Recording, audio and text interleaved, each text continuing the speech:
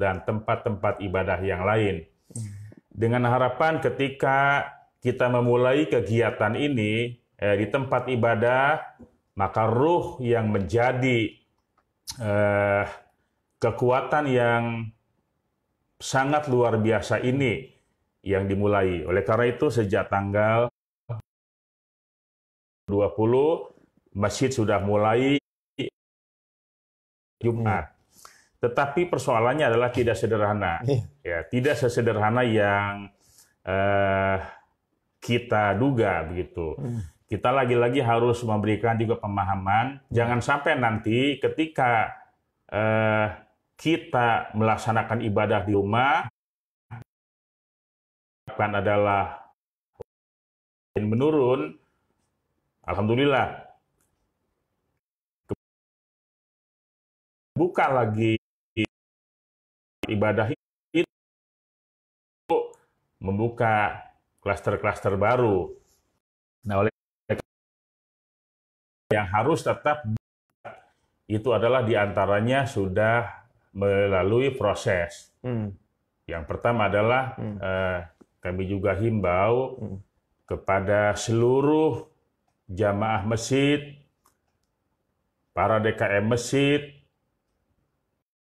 kewajiban masjid, kewajiban masjid yang memang sejak adanya eh, penghentian sementara kegiatan di masjid itu, masjid dibersihkan. Hmm. Alhamdulillah kita berikan Hmm. eh, alat kebersihan ya, ada Hmm. Wayfall, ada Superpol, kemudian juga kita berikan lagi eh, untuk membersihkan sajadah, mukena Hmm. dan sebagainya.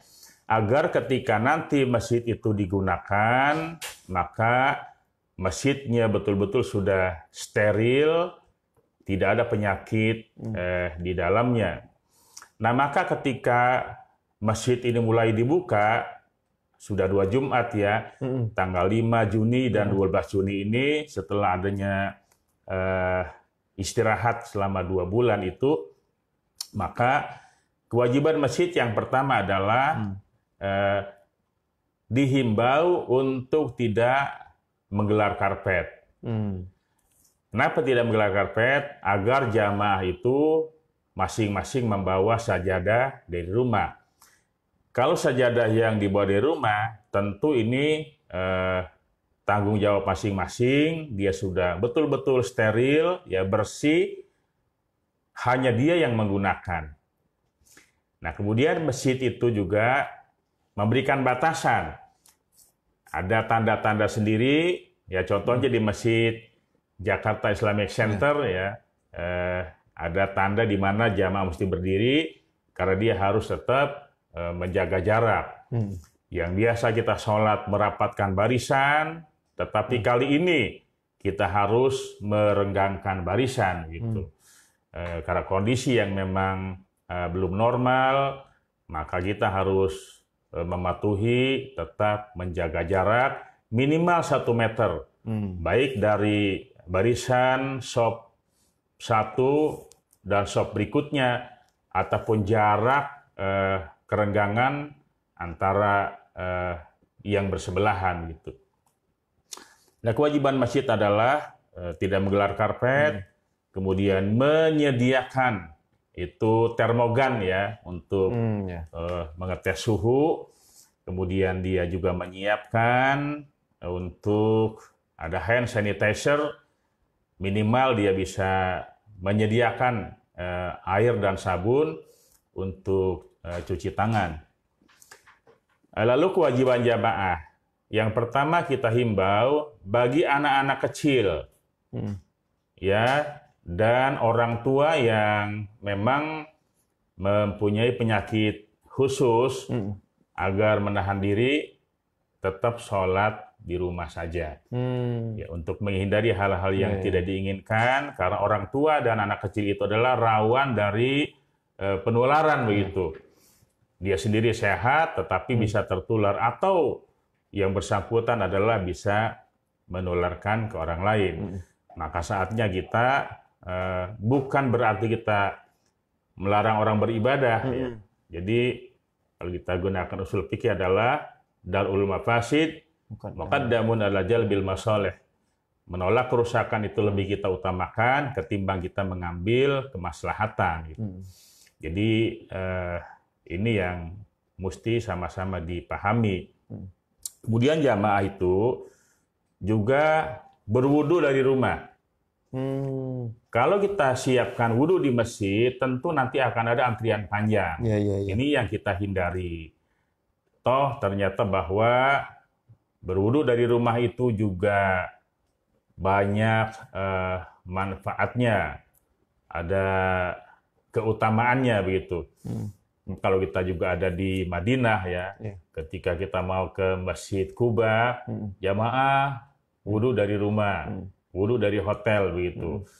Karena kalau wudhu dari hotel, maka kita sholat di Masjid Kuba, maka dia akan mendapatkan sholat dua rakaat sama dengan melaksanakan umroh satu kali. Hmm. Itu contoh yang konkret ya. Hmm. Nah kita juga di rumah ini berwudulah dari rumah.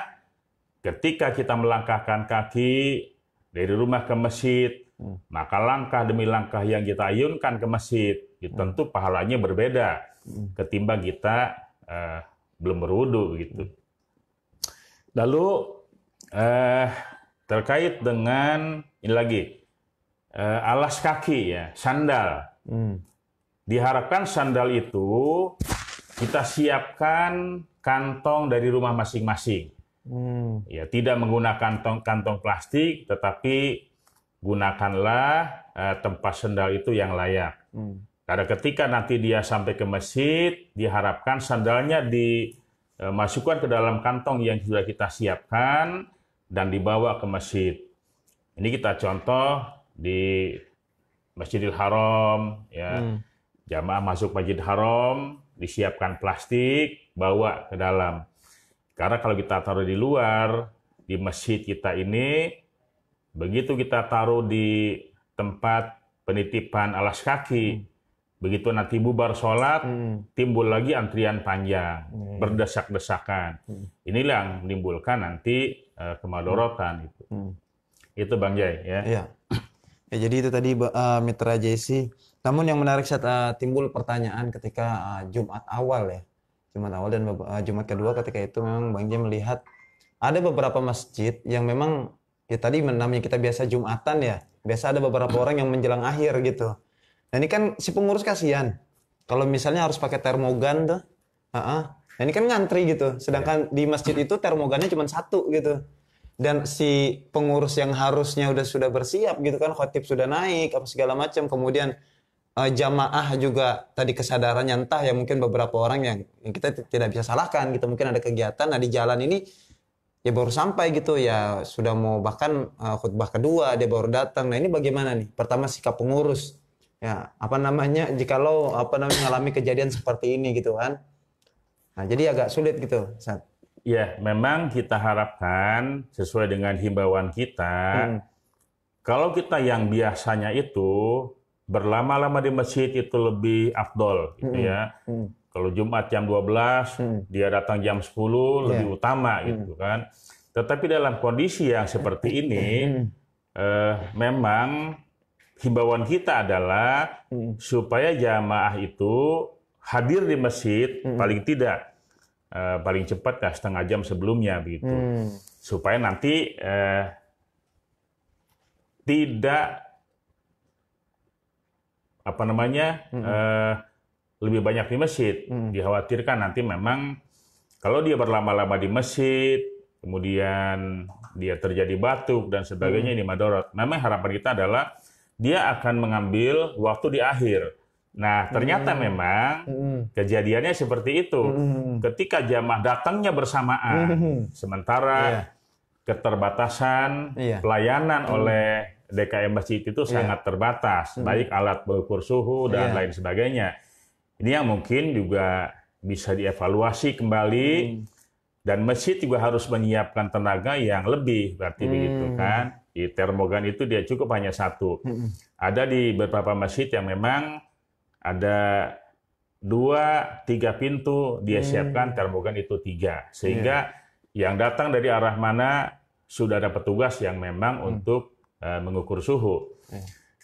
Eh, seluruh jamaah juga dengan tetap menggunakan masker. Hmm. Nah ini kemarin masih banyak jamaah yang tidak memiliki masker, Hmm. tetapi juga ada beberapa masjid yang memberikan fasilitas ya, Hmm. bagi-bagi masker. Ya contoh Masjid Al Mubarok misalnya di Kecamatan Tanjung Priuk, seluruh jamaahnya itu eh, diberikan masker.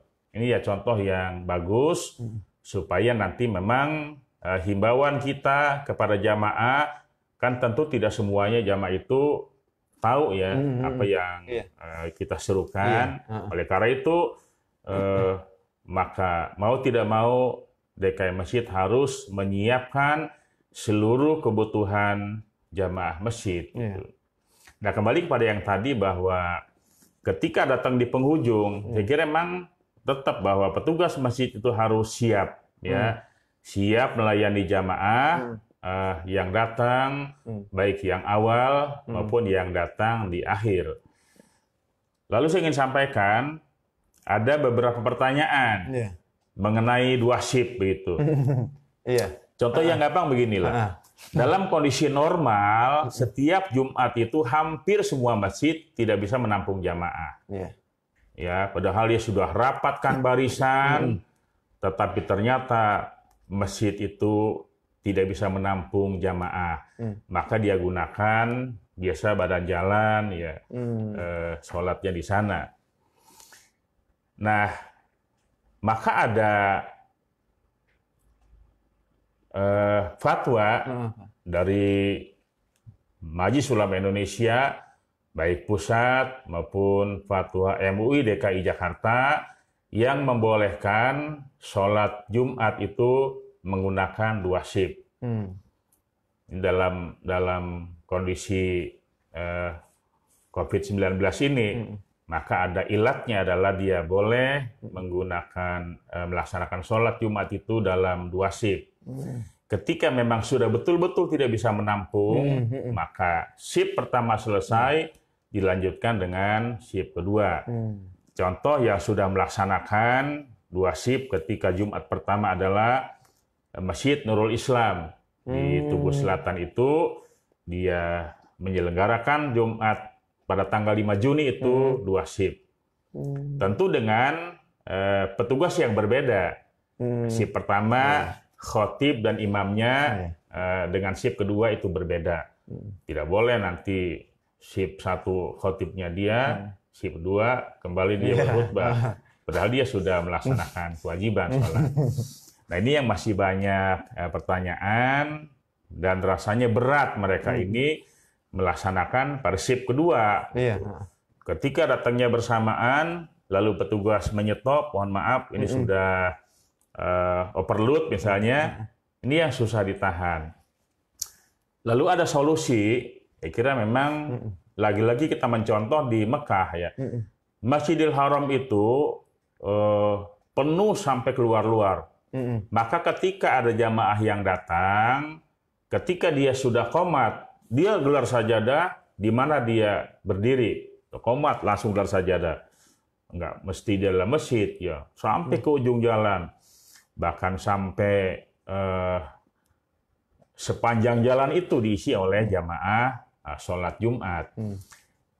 Yang terjadi di Jakarta biasanya memang eh, hampir rata-rata tidak bisa menampung jamaah di eh, induk masjid di dalam ya. Iya. Nah dalam kondisi seperti ini eh, kita bisa menggunakan badan jalan. Hmm. Tentu dengan catatan lagi-lagi bahwa di sinilah perlu kejelian eh, dan kecerdasan Hmm. juga kebijakan dari para DKM masjid agar bisa mengantisipasi bahwa masjid kita ini tidak bisa menampung jamaah Hmm. karena dilonggarkan kan sopnya Iya. begitu. Ah. Maka antisipasinya adalah eh, badan jalan mana yang bisa digunakan nih oleh jamaah. Kalau jamaah sih dalam terik matahari juga no problem ya. Mereka rela berpanas-panasan.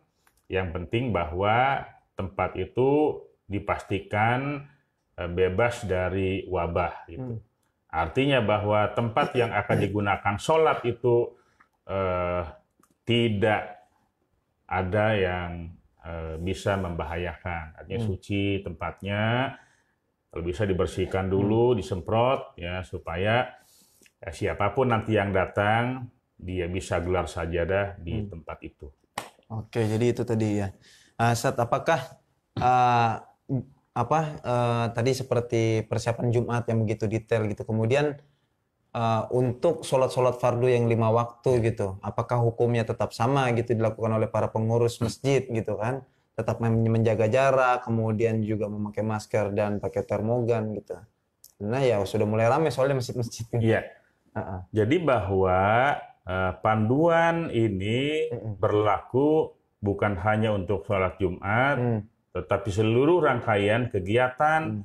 di tempat ibadah ini berlaku. Hmm. Baik sholat Jumat, Hmm. sholat eh, lima waktu, maupun kegiatan-kegiatan yang lain. Bahkan sudah ada eh, yang membuka pengajian di masjid, hmm, tetapi dengan catatan dengan tetap harus mengikuti protokol kesehatan, Hmm. tetap pakai masker, hmm. eh, kemudian hand sanitizer dan menjaga jarak.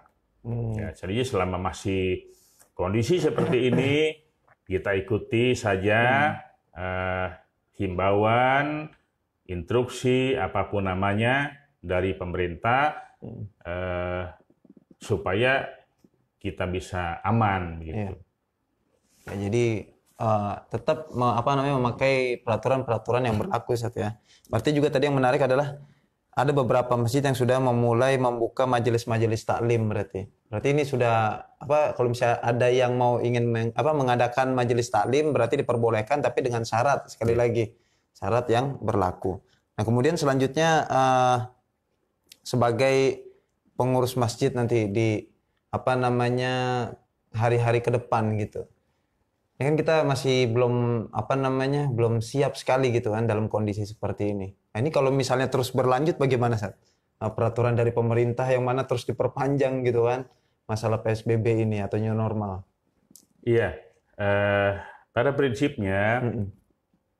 DKM Masjid bersama-sama dengan Dewan Masjid Indonesia ini tidak bisa lepas dari eh, peraturan pemerintah. Hmm. Kami juga sadar bahwa ketika pemerintah ini eh, mengeluarkan peraturan, itu tentunya sudah banyak pertimbangan-pertimbangan. Mm-mm. Ada tiga komponen yang tidak bisa dipisahkan, yaitu eh, pemerintah, ahli agama, Mm. dan ahli kesehatan. Mm. Maka saya pernah bilang kalau ternyata umat Islam ini Mm. eh, kita ingin taat kepada Allah dan Rasulnya, Hmm. ya ayyuhalladzina amanu atiullaha wa atiur rasul wa ulil amri minkum. Jadi wahai orang-orang yang beriman, taatlah kamu kepada Allah, Hmm. wa atiur rasul dan taatlah kamu kepada Rasul. Kalau ati Allah wa atiur rasul itu tanpa reserve, Hmm. tanpa tawar-menawar. Hmm. Ini adalah aturan Allah dan Rasulullah Hmm. kita eh, patuhi dan kita taati. Kemudian wa ulil amri minkum. Ulil amri di antara kamu sekalian, ai ulamaikum. Siapa ulil amri ini? Yang Hmm. memang mesti kita patuhi. Mm-mm. Jangan sampai nanti timbul pro kontra. Ikut Iya. siapa nih? Ikut ulama atau ikut umaro begitu. Atau bahasa kasarnya begini, jangan takut kepada corona, takutlah kepada Allah. Ah, iya. Ini yang terlontar selalu bahasa-bahasa seperti ini. Oleh karena itu saya ingin mengajak mari bersama-sama taati Allah, taati Rasul, dan ulil amri. Ulil amri adalah di bidang politik, tentu pemerintah. Hmm. Kalau di Jakarta bahwa ulil amri yang kita patuhi tentu adalah Gubernur DKI Jakarta. Gubernur telah membuat aturan, ada namanya keputusan gubernur, ada instruksi gubernur, ada edaran gubernur. Ya, ini adalah merupakan sebuah acuan yang memang kemudian nanti bisa kita eh, laksanakan. Hmm.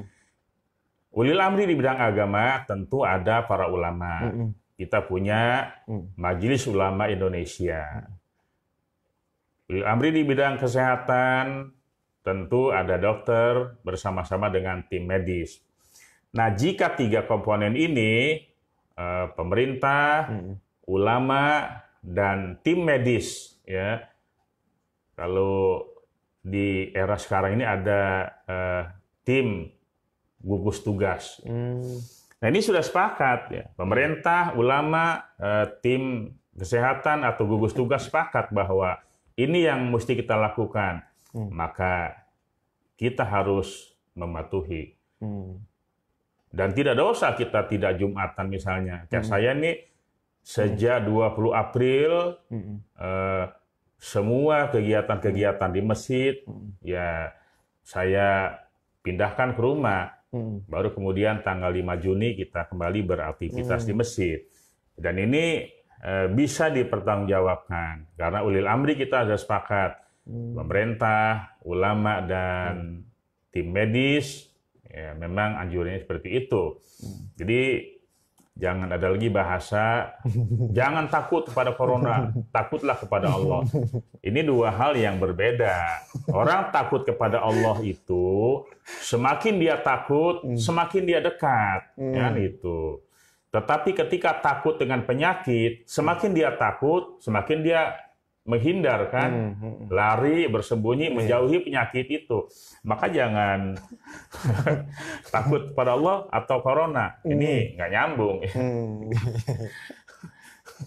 ya jadi itu yang ramai memang saat, ya, saat ini ya. Bagaimana tadi apa slogan-slogan ya. Iya. Nah, cuman yang menarik Mitra Jesse adalah ya memang benar gitu ketika seorang takut sama Allah malah makin mendekat. Kemudian ketika takut dengan penyakit ya malah harusnya memang menjauh gitu. Ya. Iya, ini jadi orang-orang yang apa tidak berpatokan kepada syariat gitu kadang. Nah, itu cukup menarik. Jadi sekali lagi kita sebagai warga dan mitra di mana pun berada, sekali lagi kita taati ulil amri tadi uh, penjelasan dari Kiai Mamun bahwasanya ulil amri tadi uh, terbagi lagi gitu dari sisi bidang politik ya gubernur kemudian juga para ulama dan juga tadi gugus tugas ya. Iya. Nah, nah kemudian uh, ada tambahan lagi mungkin saat uh, persiapan pengurus gitu uh, untuk menghadapi apa namanya setelah tadi lamanya masa penutupan. Iya. Eh, tadi sudah ditanyakan juga ya. Mau sampai kapan sih ini kan begitu? Iya. uh-uh. Apalagi kita udah Ini menjelang Idul Adha nih. Kita dibuka ini baru dua Jumat. Kita juga paham yang disampaikan Pak Gubernur. Ini adalah PSBB transisi. Hmm. Kalau kalau istilah lain ini uji coba lah gitu. Mudah-mudahan dengan uji coba ini eh, semakin menurun atau semakin meningkat gitu. Kalau ternyata masyarakat ini memang betul-betul mematuhi ketika dia berada di masjid apa yang mesti dia lakukan, ketika dia berada di mall, di pasar dan sebagainya, dia patuh terhadap aturan, maka eh, yang diharapkan adalah ini corona ini semakin menurun dan akhirnya kita bisa selesai. Tetapi manakala ini kita masa transisi, kita berbuat semaunya, Hmm. tidak ikut aturan, dianggapnya sudah aman, Iya. nanti malah eh, kita makin eh, memuncak, Hmm. ini mungkin ceritanya akan berbeda. Hmm. Jadi oleh karena itu ini kan eh, transisi ini kita lihat ke depannya. Hmm. Setiap Jumat kita evaluasi. Ini bukan hanya masjid, musola, ya, Hmm. tetapi juga tempat-tempat ibadah agama lain pun sama ya. Hmm. Melaksanakan kegiatan di tempat ibadah, kemudian evaluasi.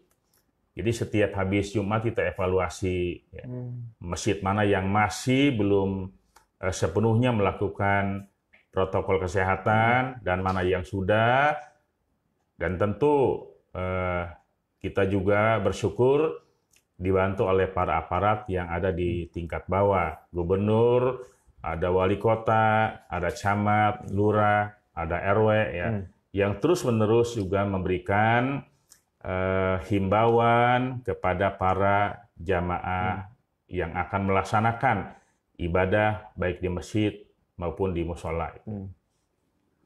Ya, jadi gitu ya. Ah, ah.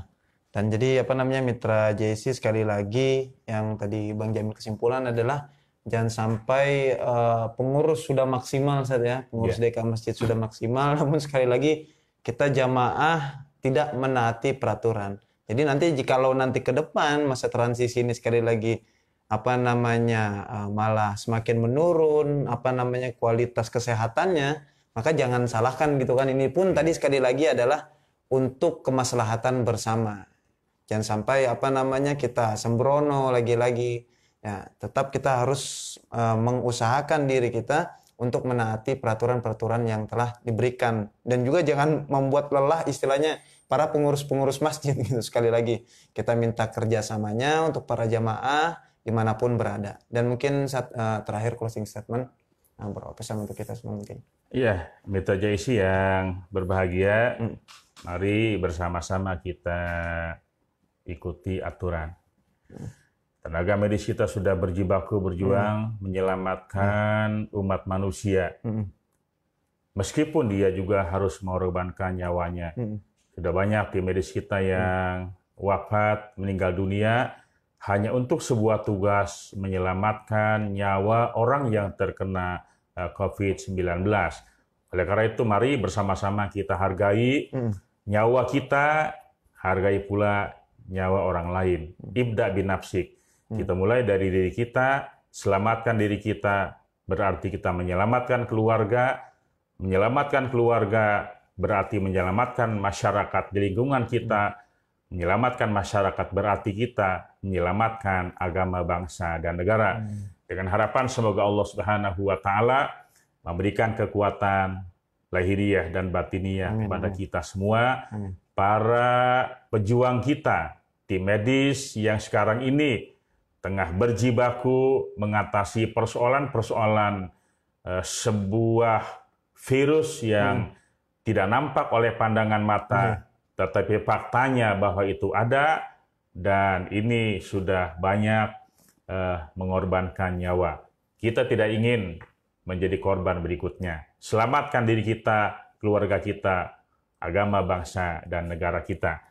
Assalamualaikum warahmatullahi wabarakatuh. Waalaikumsalam warahmatullahi wabarakatuh. Ya itu tadi Mitra Jesse sebagai penutup perjumpaan kita di pagi menjelang siang ini. Ya semoga kita bisa sama-sama menjalankan apa-apa yang sudah disampaikan tadi oleh uh, uh, apa namanya Ketua DMI DKI Jakarta dan kita sebagai jamaah berusaha untuk menaati uh, peraturan sekali lagi dan semuanya adalah untuk kemaslahatan bersama. Tidak ada kepentingan pribadi di sini, sekali lagi semata-mata untuk menolong umat dan bangsa negara Indonesia ini. Ya, terima kasih atas segala perhatiannya dan saya Bang Jai dan juga uh, Kiai Makmun mohon undur diri dari ruang dengar dan ruang online Mitra JC.